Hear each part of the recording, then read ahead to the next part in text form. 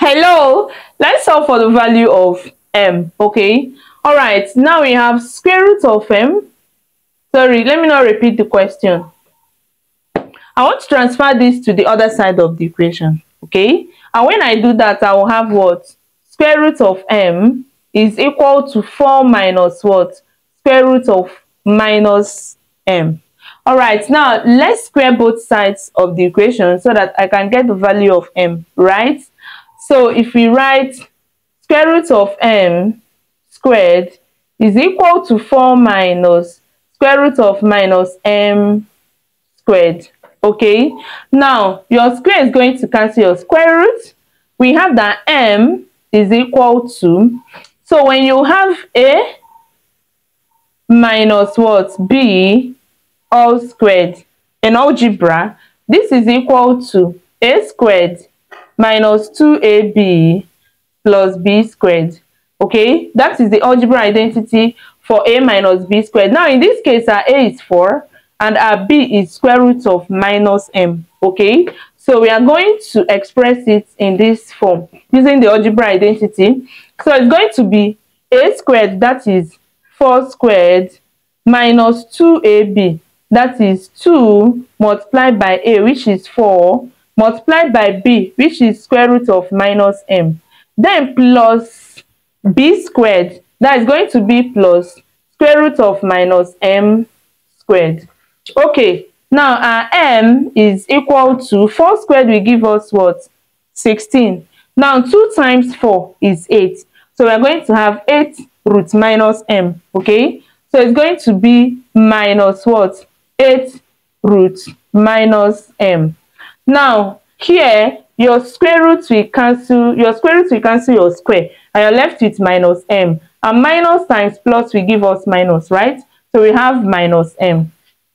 All right, now let's transfer this to the other side of the equation. And when we do that, we have m minus 16 is equal to minus 8 square root of minus m minus what? m. Okay? Ah, let's also transfer this minus m to the other side to know that we are just dealing with this one okay? So we have m minus 16 minus m will cross to become plus m okay? Is equal to minus 8 square root of minus m. Okay now let's continue. M plus m will give us 2m right minus 16 minus 16 is equal to minus 8 square root of what? Minus m. All right we still have square root sign here. Let's square both sides of this equation to clear it okay? So we are going to square this side and we're also going to square this side. So we have already expanded something in this form right? That is a minus b squared is equal to a squared minus 2ab plus b squared okay?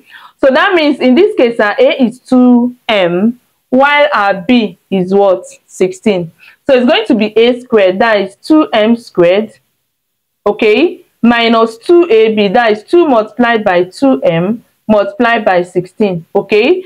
Plus b squared that is plus 16 squared. All right and this is equal to this is same thing as what minus 8 squared, okay, multiplied by square root of minus m squared, okay. So here we have 2 squared will give us 4, m squared, minus 2 times 16 is 32, and 32 times 2 will give us 64. So we have 64m plus 16 squared okay? Okay now 16 squared is 256 am i sure? Okay let's do it. Now i'm going to use a trick to be faster. There's a math trick for it. So 6 squared will give us 36 1 squared will give us 1 now 1 times 6 is 6 double of 6 is 12 so i will add. I will have 256 so the answer is 256 oh all right. So if you want to learn these tricks i have uh, three videos for them in this channel. So just quickly so, uh, search through the channel. It's not that far. About a month or two months ago, just search through the channel and you are going to see videos on matrix okay okay now 4m squared minus 64m plus 256 right is equal to minus 8 squared is 64 now this we remove this and we have what Multiplied by minus m all right so we have 4m squared minus 64m plus 256 is equal to minus 64m okay? So let's bring this to this side. If we do that we will have 4m squared minus 64m plus 256 plus 64m is equal to 0 okay? Now minus 64m plus 64m is 0 so this and this will go is 0 so we have 4m squared plus 256 is equal to zero. If this is the first time you're coming across this channel, please click on the subscription button and turn on your notification bell. Yes, so that you don't miss our amazing videos, okay? And please give us a thumbs up if you are actually enjoying this video. Thank you so much. All right, now we have 4m squared plus 256 and repeating what we have here is equal to 0. Now let's divide through by 4, okay? Let's divide through by 4. So divided by 4, divided by 4, divided by 4. So you have m squared plus, now when 25 is divided by 4, we have 6, 6 remainder 1. If you divide 16, we have 4, all right, is equal to 0.